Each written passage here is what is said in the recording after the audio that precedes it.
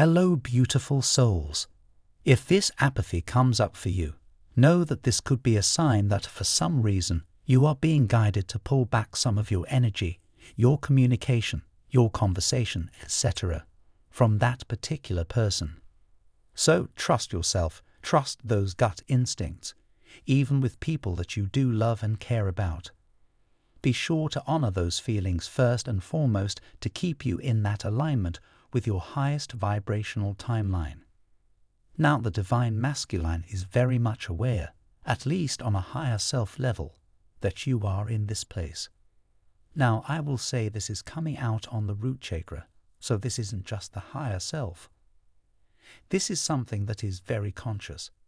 Of course, what our higher self knows, sometimes we are conscious of, sometimes we are unconscious of. But in this case, the masculine is very conscious that you are being protected divinely.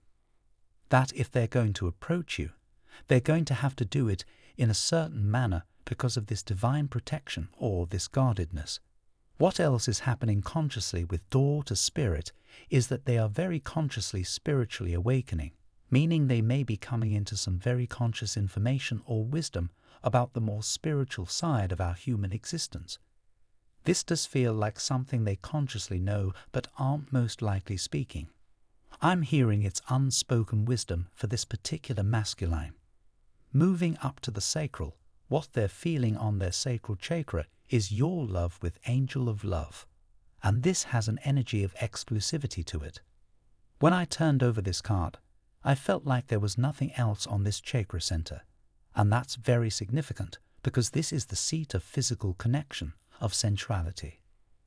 The divine masculine energy coming through here is very fixated on you, and it feels very exclusive.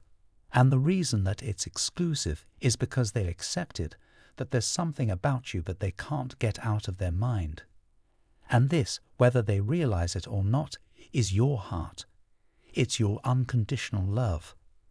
This masculine may have mistakenly believed when they first met you that the beauty they saw in you was skin deep, that it was only because of your physical appearance. What they didn't realize is that it was so much more than that. It is an energy that is radiating from you, but specifically radiating from your heart space. I'm hearing your beauty captivated them in the beginning, but what has held their attention in this fixated kind of way is your heart. Now, what is happening in these solar plexus chakra?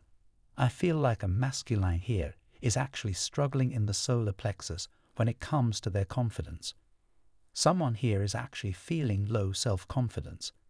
I'm hearing, I only want to talk with you. This person is feeling very disconnected from the people who may be physically around them. I do get that they are around other people physically, whether it's family members, co workers, friends, but there is a deep sense of emotional isolation. From divine masculine, type yes if you believe.